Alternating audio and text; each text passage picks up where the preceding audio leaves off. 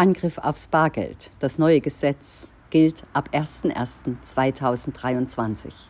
Bargeldzahlungen verboten. Das steht im neuen Sanktionsdurchsetzungsgesetz 2. Was das bedeutet für Menschen, die gern bar bezahlen.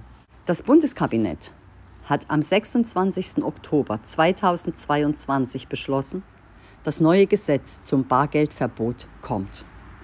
Das Gesetz trägt den Titel Sanktionsdurchsetzungsgesetz 2. Auf den ersten Blick scheint es ein weiteres Gesetz zur Durchsetzung der EU-Sanktionen gegen Russland wegen des Ukraine-Krieges zu sein.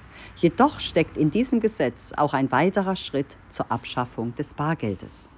Der neue Paragraph 16a im Geldwäschegesetz verbietet es, Immobilien, Grundstücke, Häuser und Wohnungen in Bar, Gold oder Krypto zu bezahlen.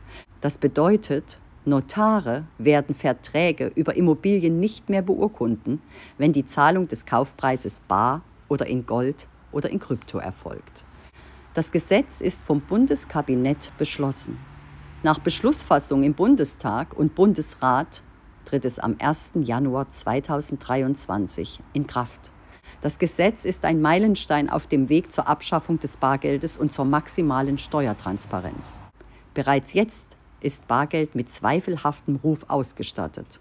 So lassen sich Handwerker Rechnungen nur dann steuerlich absetzen, wenn sie nicht bar bezahlt sind.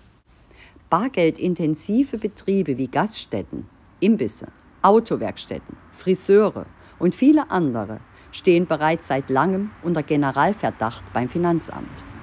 Die weiteren Pläne sind bereits in Arbeit.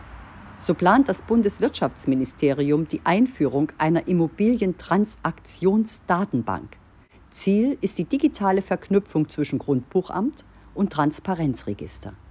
Auf diese Weise lässt sich jederzeit sehen, welches Unternehmen welche Immobilie besitzt. Es ist zu befürchten, dass dies nur der erste Schritt ist. Die digitale Verknüpfung zwischen Grundbuchamt und Einwohnermeldeamt steht auf dem Plan.